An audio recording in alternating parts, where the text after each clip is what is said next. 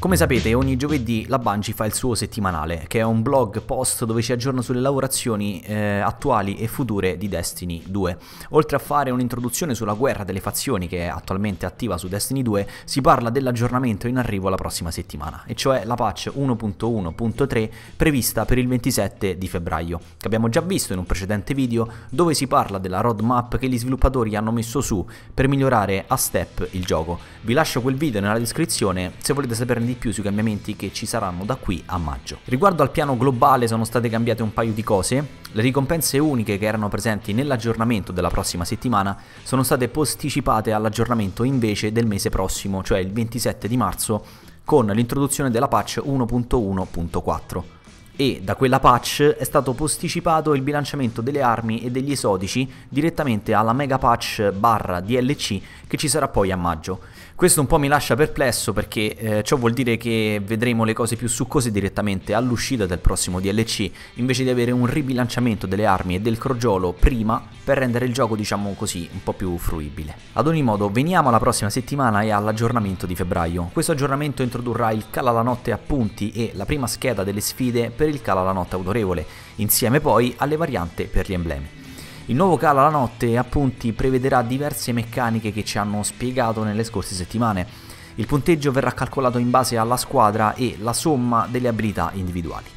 Il punteggio si basa sulle uccisioni e in secondo luogo sulla generazione di sfere di luce, quindi niente più cala super veloci per finirlo il prima possibile, sicuramente servirà un uso coordinato delle super per cercare di fare più sfere di luce possibile e soprattutto trovare il momento adatto di usarle. I punti avranno un limite di tempo, quindi dopo i 15 minuti i nuovi punti che verranno presi saranno dimezzati del 50%, dal diciottesimo minuto in poi invece non otterrete più nessun punto, questo per far sì che comunque il tempo rimanga un fattore importante e che ci sia una vera e propria gara a sfoggiare il punteggio migliore. Anche le sfide eh, saranno un'introduzione interessante, sono degli oggetti che ci permetteranno di aumentare eh, la sfida in cambio di moltiplicatori di punteggio.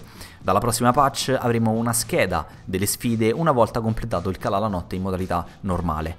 La scheda possiede alcune opzioni, come vediamo dallo screen, qui per esempio dice che se il team muore in un'area limitata non si potrà più respawnare ma si tornerà direttamente in orbita, come ai vecchi tempi del cala la notte dove anche se si moriva all'inizio o dal boss sempre in orbita si tornava.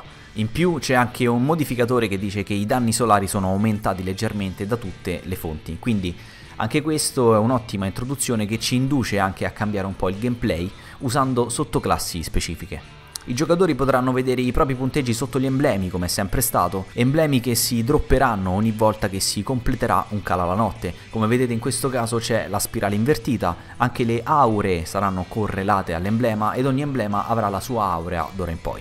Questo cambiamento alle auree sarà globale e toccherà anche le auree delle prove dei 9 e del raid, così come anche i relativi emblemi verranno cambiati per contare la progressione in quelle attività.